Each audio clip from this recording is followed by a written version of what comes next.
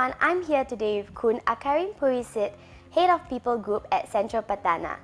The Central Pattana team have just won the Gold Award for Excellence in HR Change Management at this year's HR Excellence Awards 2021 Thailand. Congratulations Kun Akarin on winning this inaugural award. How did you feel when your company's name was called out at the ceremony? Thank you, Priya. I would say it's a uh, mixture of, uh, you know, um, a happy surprise uh, and a relief. Um, we knew we had a chance in uh, in winning some of this, but we had no idea that we would come all the way to the end. And the the happiness is because the team has been working very hard on this, and I'm very glad on both the company's behalf and on the team's behalf in achieving this. That was very nicely said and truly deserving of the win. So I'm sure there are many secrets behind this success. What would you say was the biggest one? Um, I, I would narrow down to just a few. Maybe there is no single one secret to this. Um, I think the, the first one was a, a lucky factor. Um, we started the journey right before COVID with the effort to connect everybody together in the organization. And we managed to do that for all 5,000 people.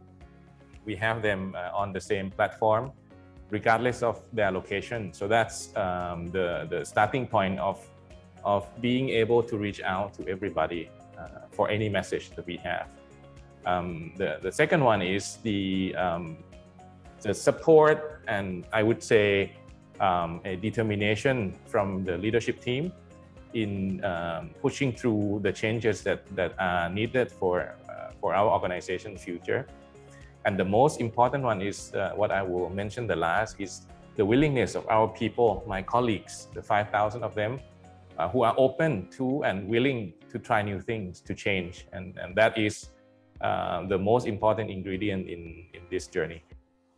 And I definitely agree with you. Definitely having a, an open mindset is one of the most important things to do um, when you want to evoke change and move forward. Yeah, exactly. Yeah. So, what is one key message you would like to convey to your employees through this win? Um, the first thing I would say to, to all of them is you know, a big thank you um, to all the colleagues, 5,000 of them in uh, all, all, over the country. Um, this reward is for all of us, uh, for the, the willingness uh, to change and uh, the open mind to try new things. Um, we still have a long way to go on our change journey, so I would hope that we will continue in the same spirit and continue to imagining better futures for all. That was very sweet and very inspiring. Thank you, Kun Akarin. And you know, a huge congratulations once again on this win. We hope to see more achievements coming in the coming year. Thank you for the opportunity. Thank you.